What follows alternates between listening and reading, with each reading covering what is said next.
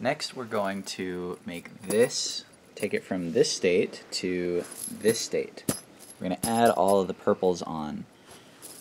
The way we're going to do that is by starting with a bunch of fully open purples, 20 of them, and we're going to take each pair of rings on here, whether they be orange orange or orange brown or brown orange, and we're going to join them together with a purple.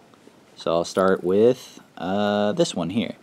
I'm going to put the purple through the orange and the brown, and then I will close it. Actually, I'm going to leave it half open, and the way that I'm going to leave it half open is I'm going to go a little bit past, and there it's going to be half open, and what that means is this side of the purple is just touching barely on this side of the purple.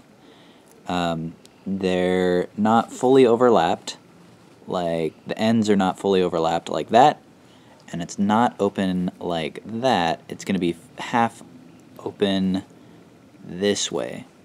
When the rings come in the bag, the rings are going to be uh, the opposite way. They're going to be half closed like this. So the uh, looking down on it, if you imagine this was a slide, you'd be sliding counterclockwise as you went down this. This one, if you went down, you'd be sliding clockwise, or wait, sorry, my bad. This one, you'd be sliding clockwise um, so the highest point is here, and the lowest point is over here. So we slide around, and then we'd be over there. And then on this one, we'd be slide around this way, and then the lowest point is there. So we'd be sliding counterclockwise.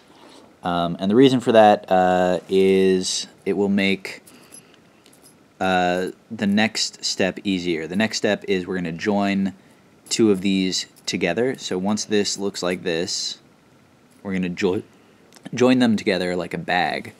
Um, but for now, I'm just going to half close them. Uh, so I will hold up the purple, uh, and then it, it's got this brown one and orange one attached to it. I'm going to bring up a orange one next to the purple, or next to the other orange.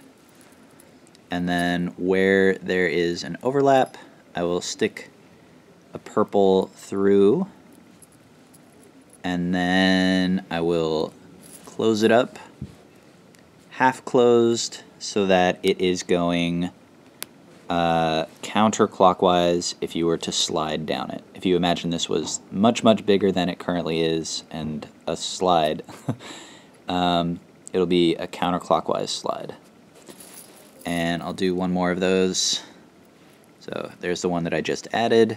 Here's an orange that's attached to it. Here's a loose orange that's not attached to those. And I'll bring it up.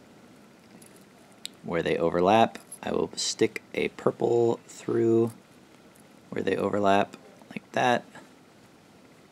And then I will close it up and make sure that I end up with the left side higher than the right side as I look at this. Um, and on the video it's going to be, I guess, the other way around. But I can compare over here.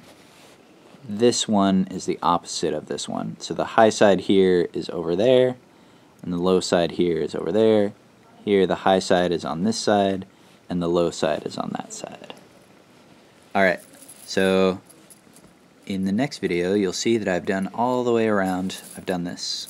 I've added all the purples.